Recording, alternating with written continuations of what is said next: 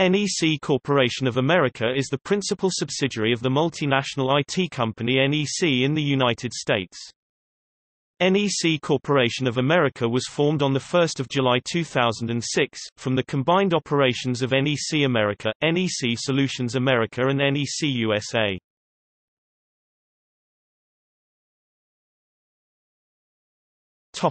History Nippon Electric New York later NEC America Inc. was incorporated in 1963. In October 1986 NEC formed a joint venture with Honeywell, HNSX Supercomputers, to sell NEC supercomputers in the United States and Canada. NEC established a research lab in South Brunswick, Princeton, New Jersey in 1988. In October 1989 Honeywell agreed to sell its share in HNSX supercomputers to NEC. NEC Laboratories was created in November 2002 through the merger of NEC Research Institute and NEC USA's Computer and Communications Research Laboratory. NEC Corporation of America was formed on 1 July 2006 from the combined operations of NEC America, NEC Solutions America and NEC USA NEC Laboratories succeeded in sending over 100 terabits of information per second through a single optical fiber in April 2011, establishing a new world record.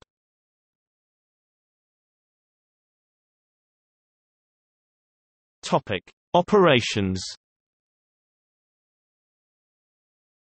Subsidiaries of NEC Corporation of America include NEC Laboratories America NEC Labs a research facility based in Princeton, NJ focused on technology research and early market validation. NEC Financial Services, LLC, a company which offers financing services supporting the sale of products and solutions to businesses in the United States.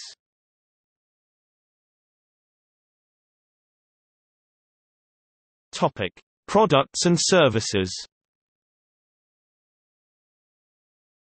NEC Corporation of America's products and services include Automated fingerprint identification systems Carrier professional services Document solutions equipment Enterprise communications equipment Enterprise content management OpenFlow networking equipment Identity management Leasing and financial services Microwave radio equipment Optical networking equipment Business intelligence, corporate performance management Data warehousing, master data management Predictive analytic services, big data Retail applications Servers Software Storage equipment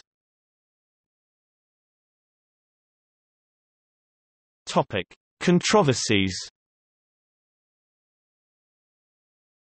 In April 1997 HNSX supercomputers and Fujitsu were jointly found guilty of dumping by bidding below cost in order to sell a supercomputer to the National Center for Atmospheric Research. In September 1997 the United States International Trade Commission found that Cray Research had been financially injured by the pricing practices of HNSX supercomputers and Fujitsu.